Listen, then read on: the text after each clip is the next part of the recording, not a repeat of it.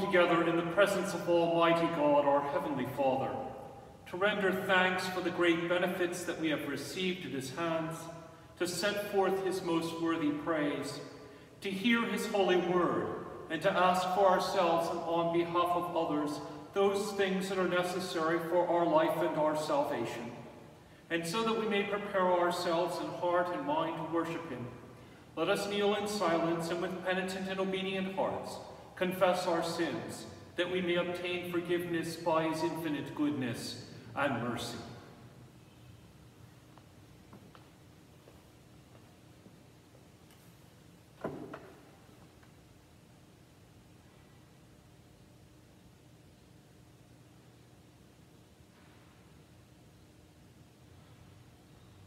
Almighty and most merciful Father, we have erred and strayed from thy ways like lost sheep. We have followed too much the devices and desires of our own hearts. We have offended against thy holy laws. We have left undone those things which we ought to have done, and we have done those things which we ought not to have done. But thou, O Lord, have mercy upon us. Spare thou those who confess their faults. Restore thou those who are penitent, according to thy promises declared unto mankind in Christ Jesus our Lord. And grant, O most merciful Father, for his sake, that we may hereafter live a godly, righteous, and sober life, to the glory of thy holy name. Amen.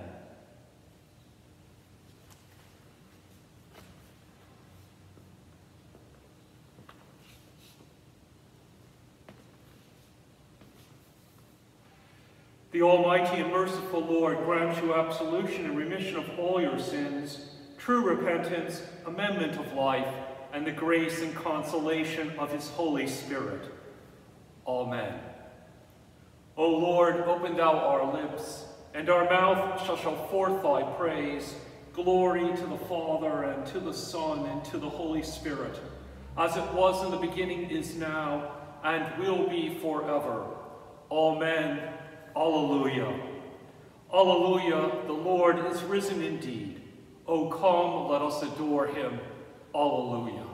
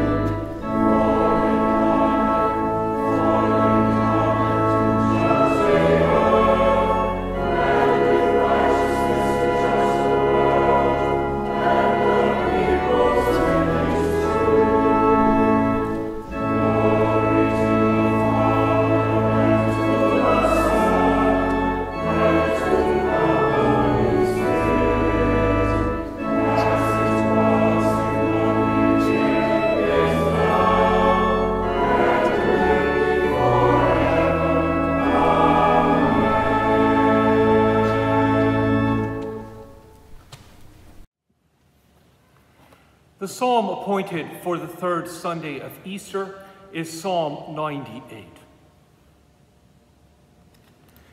Sing to the Lord a new song, for he has done marvelous things. With his right hand and his holy arm has he won for himself the victory.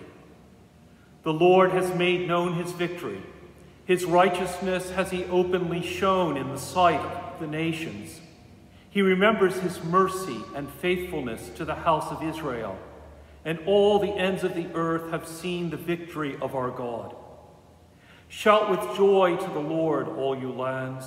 Lift up your voice, rejoice and sing. Sing to the Lord with the harp, with the harp and the voice of song, with trumpets and the sound of the horn. Shout with joy before the King, the Lord.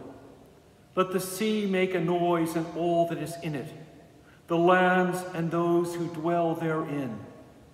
Let the rivers clap their hands, and let the hills ring out with joy before the Lord when he comes to judge the earth.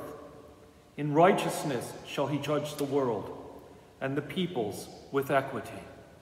Glory to the Father, and to the Son, and to the Holy Spirit, as it was in the beginning, is now, and will be forever. Amen. Alleluia. A reading from 1 John. We declare to you what was from the beginning, what we have heard, what we have seen with our eyes, what we have looked at and touched with our hands concerning the word of life. This life was revealed, and we have seen it and testified to it, and declare to you the eternal life that was with the Father and was revealed to us. We declare to you what we have seen and heard, so that you may also have fellowship with us. And truly, our fellowship is with the Father and with his Son, Jesus Christ. We are writing these things so that our joy may be complete. This is the message we have heard from him and proclaimed to you that God is light, and in him there is no darkness at all. If we say that we have fellowship with him while we are walking in darkness, we lie and do not do what is true.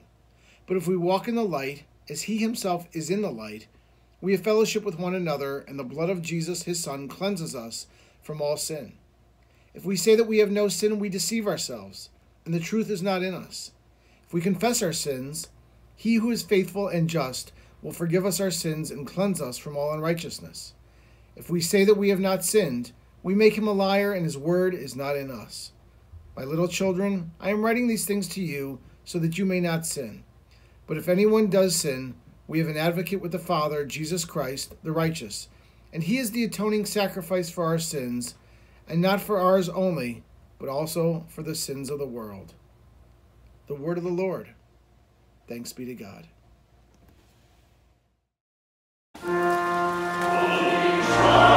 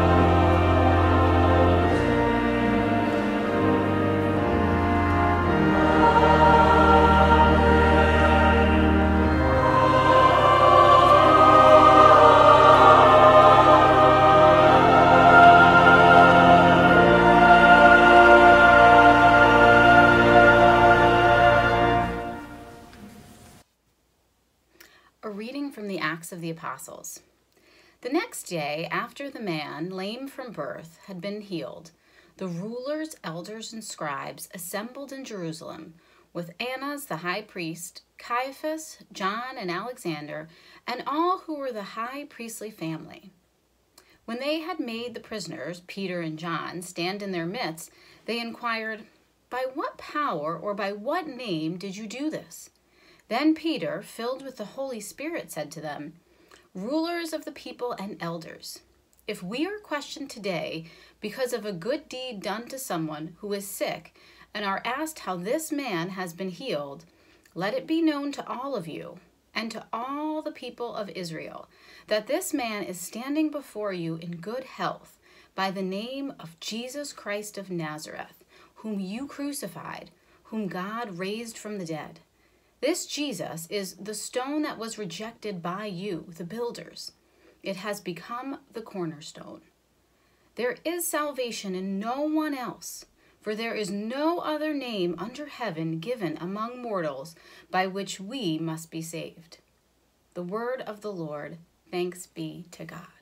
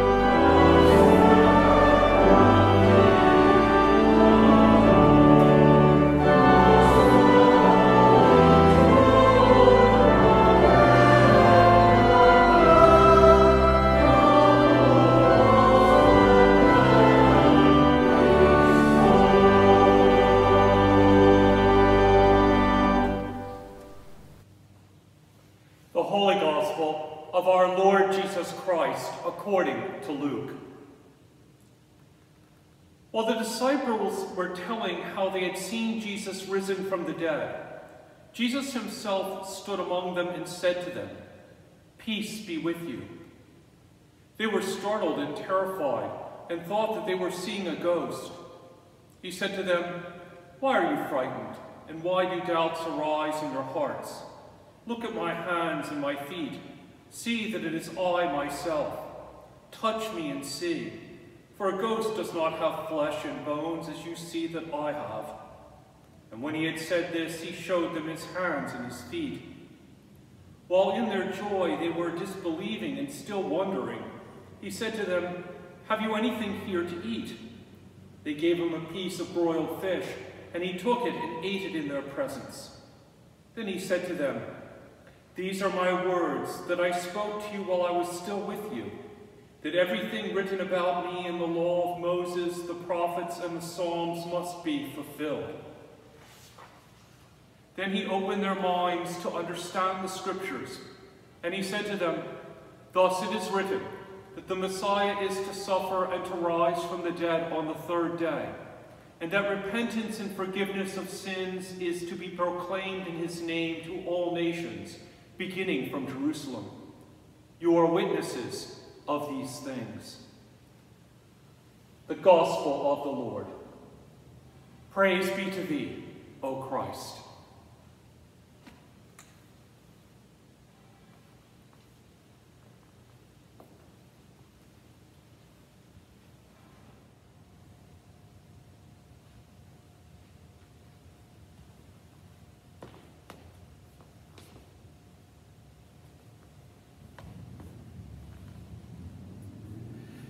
In the name of God, the Father, the Son, and the Holy Spirit.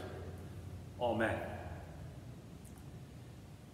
At the ecumenical seminary that I attended, Wednesday night was the community Eucharist. The Episcopal part of the Divinity School opened its doors on these Wednesday evenings to the larger seminary community for that service of Holy Communion. And it was quite well attended both by seminarians and their families. I'll never forget a sermon our seminary dean delivered in the chapel at one of those Eucharists. It was on today's gospel, the last sentence. His text was, You are witnesses of these things. I wonder if I was the only one there that evening with a certain sense of a jolt to my system.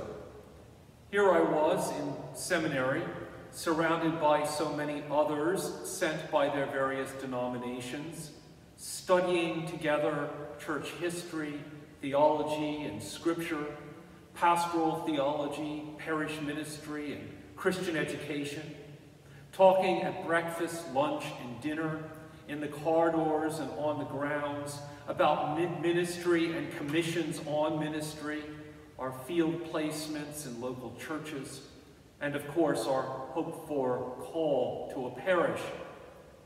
And yet, still a jolt to my system. You are witnesses of these things. Our dean was a good one and good for a reason. He had a way of reminding us why we were there. You are witnesses of these things. He knew that so much of seminary life tended to get caught up in the sideshows of the church's life, sometimes with underlying substance, but often with an unhealthy focus or energy behind it. Likewise, also a preoccupation with ourselves, our vocations, our own spiritual growth, our so-called spiritual formation, but sometimes with a worrisome emphasis on self. And to all of this, he had a duty to remind us, you are witnesses of these things. What are these things? There's really a remarkable summing up of that for us all in the scripture we have heard today. First, something very simple but very important that we are Easter Christians. It is true in a way that we can sometimes take for granted that Easter is the beginning of all Christian focus. All are getting clear. It was certainly true for these disciples. They were, after Jesus' crucifixion, as we find them today, stunned, in mourning, paralyzed. More than trying, as we say, to pick up the pieces, they were left without a clear sense of what the pieces meant, how they might, if at all, fit together or make sense anymore, what to do with Jesus' life and disastrous death, their discipleship, and now their lost Lord. They have one another. There is the sense of that. But have you ever seen a dog lost by the side of a road, ownerless, looking over their shoulder, making the best of it, but the sense that something is profoundly wrong and cannot work? We sense an inner quality in each of these disciples somewhat like that, don't we? Jesus' resurrection is the coming back together of it all for the disciples and their new point of departure. A joy which puts the pieces together, a power to go forward, because truly they have been found again. Jesus gives them not only hope again, but life, a capacity to go ahead again exactly as they were, and yet profoundly changed on their own now, but not alone. Just moments before, like a dog lost in the gully at the side of the road. Now confident and cared for, sure of home, and able to venture forward in confidence. The disciples are given the gift of being disciples again. They know what their life will mean now. And most of all, they have life. So, as they go off from there, it is more than just a content, a specific message to be conveyed. There is that. But there is also a deep and underlying energy. With their Lord, they are alive again. We hear that with such joy and power from John's epistle today. That which was from the beginning, which we have heard, which we have seen with our eyes, which we have looked upon and touched with our hands concerning the word of life. The life was made manifest, and we saw it, and testified to it, and proclaimed to you the eternal life, which was with the Father, and was made manifest to us. That which we have seen and heard, we proclaim also to you, so that you may have fellowship with us. And our fellowship is with the Father and with his Son, Jesus Christ. And we are writing this that our joy may be complete. And with that joy, that energy, that life with a capital L, is the Easter motive with which they proceed for our sake. We heard it with great power last Sunday when John ended his gospel saying to us, Now Jesus did many other signs in the presence of his disciples, which are not written in this book. But these are written, that you may believe that Jesus is the Christ, the Son of God, and that believing you may have life in his name. You are witnesses of these things. What happened to the disciples that day and throughout the 50 days of Easter is that Jesus told them what it was all about together.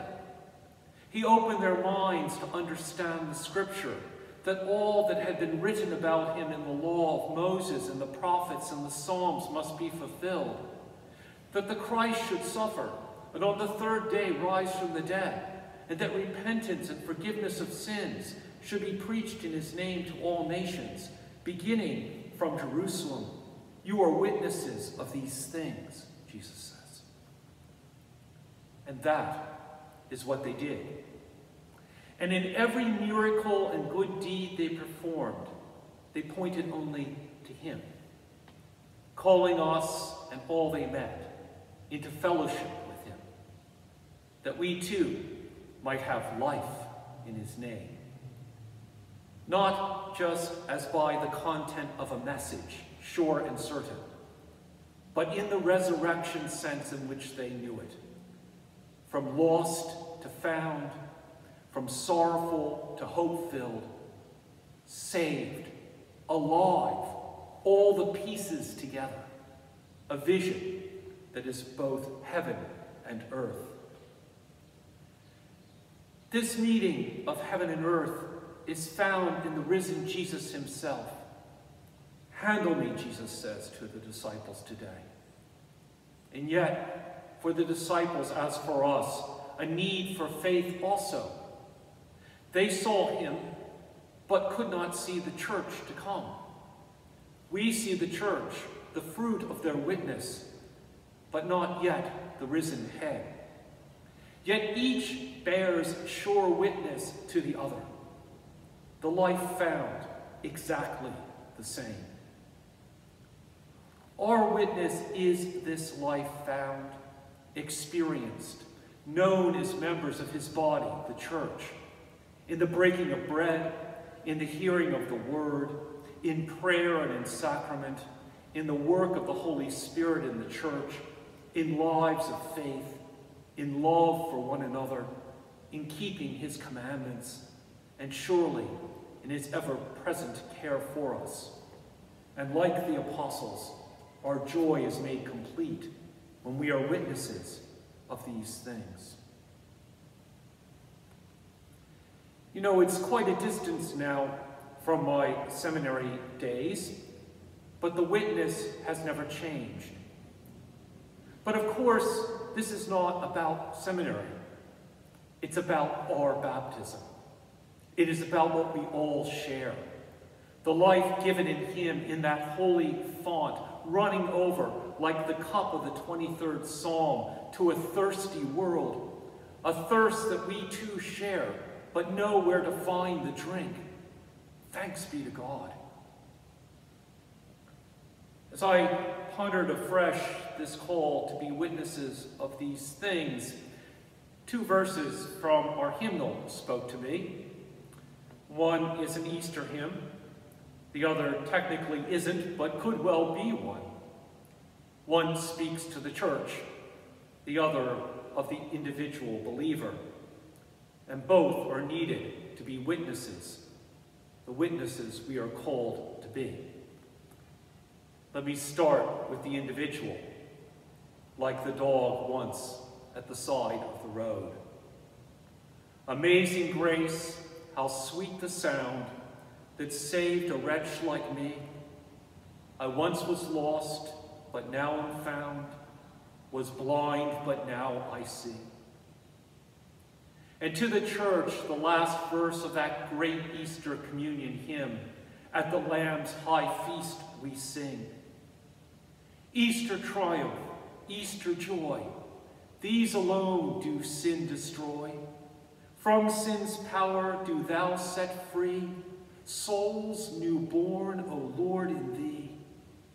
Hymns of glory, songs of praise, Father, unto thee we raise. Risen Lord, all praise to thee, with the Spirit ever be. Alleluia. Christ is risen. The Lord is risen indeed. Alleluia. Amen.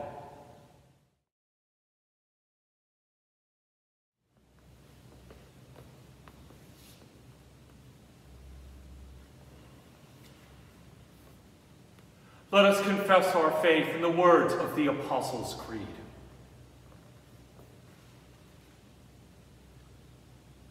I believe in God, the Father Almighty, maker of heaven and earth, and in Jesus Christ, his only Son, our Lord, who was conceived by the Holy Ghost, born of the Virgin Mary, suffered under Pontius Pilate, was crucified, dead, and buried. He descended into hell. The third day he rose again from the dead. He ascended into heaven and sitteth on the right hand of God the Father Almighty. From thence he shall come to judge the quick and the dead. I believe in the Holy Ghost, the holy Catholic Church, the communion of saints, the forgiveness of sins, the resurrection of the body, and the life everlasting.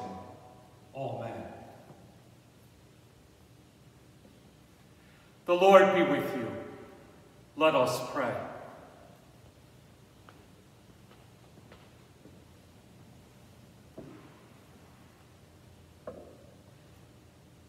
Our Father, who art in heaven, hallowed be thy name. Thy kingdom come, thy will be done, on earth as it is in heaven. Give us this day our daily bread, and forgive us our trespasses, as we forgive those who trespass against us. And lead us not into temptation, but deliver us from evil. For thine is the kingdom, and the power, and the glory, forever and ever.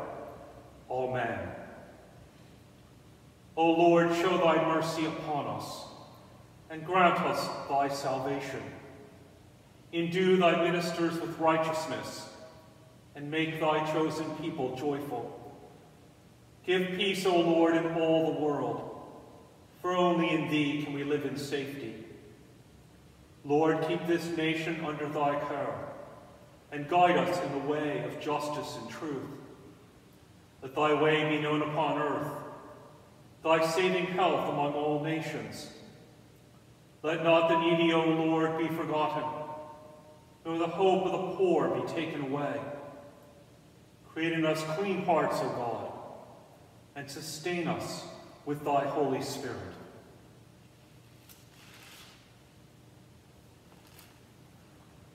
O God, whose blessed Son didst manifest himself to his disciples in the breaking of bread, open, we pray thee, the eyes of our faith, that we may behold him in all his redeeming work. Through the same thy Son, Jesus Christ our Lord, who liveth and reigneth with thee in the unity of the Holy Spirit, one God, now and forever. Amen. We thank thee, Heavenly Father, for that thou hast delivered us from the dominion of sin and death, and hast brought us into the kingdom of thy Son. And we pray thee that, as by his death he hath recalled us to life, so by his love he may raise us to joys eternal, who liveth and reigneth with thee, in the unity of the Holy Spirit, one God, now and forever. Amen. O Lord, our heavenly Father, almighty and everlasting God, who has safely brought us to the beginning of this day, defend us in the same with thy mighty power, and grant that this day we fall into no sin, neither run into any kind of danger, but that we, being ordered by thy governance, may do always what is righteous in thy sight, through Jesus Christ our Lord. Amen. O God, who makest us glad with the weekly remembrance of the glorious resurrection of thy Son, our Lord. Grant us this day such blessing for our worship of thee, that the days to come may be spent in thy favor, through the same Jesus Christ, our Lord. Amen. O God, who hast made of one blood all the peoples of the earth, and didst send thy blessed Son to preach peace to those who are far off and to those who are near, Grant the people everywhere may seek after thee and find thee. Bring the nations into thy fold. Pour out thy spirit upon all flesh, and hasten the coming of thy kingdom. Through the same thy Son, Jesus Christ our Lord. Amen.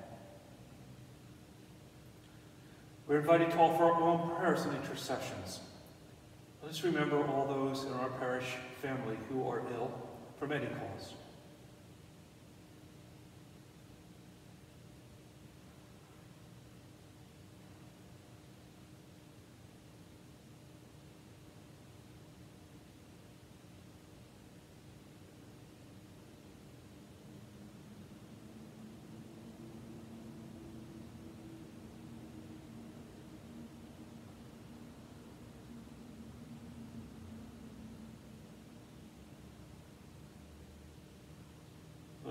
Remember in our prayers all those preparing for baptism in this holy season.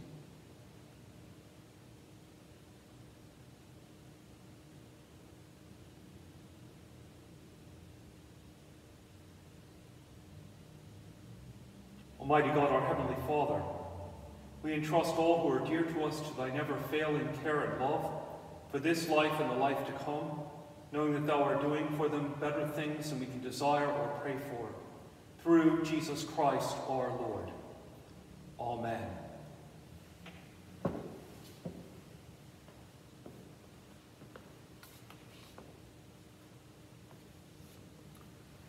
The peace of the Lord be always with you. Walk in love as Christ loved us and gave himself for us an offering and sacrifice to God.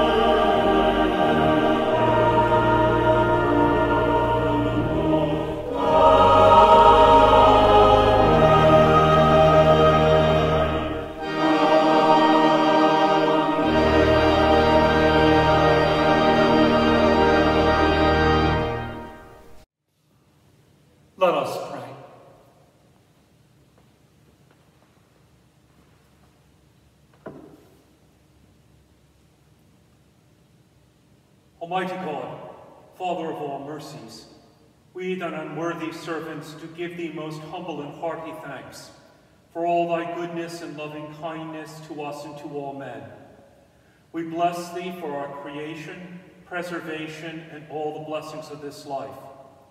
But above all, for thine inestimable love, in the redemption of the world by our Lord Jesus Christ, for the means of grace and for the hope of glory.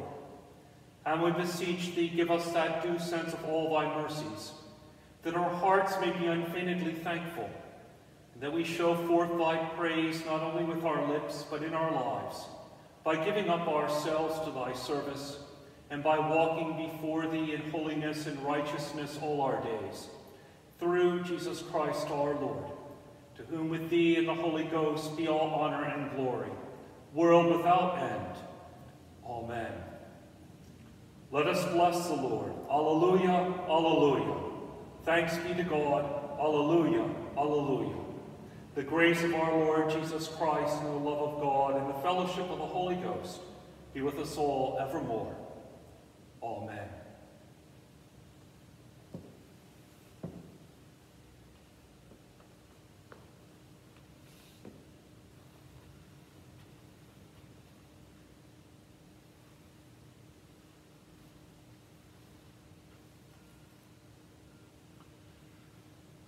The God of peace who brought again from the dead our Lord Jesus Christ, the great shepherd of the sheep, through the blood of the everlasting covenant, make you perfect in every good work to do his will, working in you that which is well-pleasing in his sight. And the blessing of God Almighty, the Father, the Son, and the Holy Spirit be among you and remain with you always. Amen. Go in peace to love and serve the Lord. Alleluia, alleluia. Thanks be to God. Alleluia, alleluia.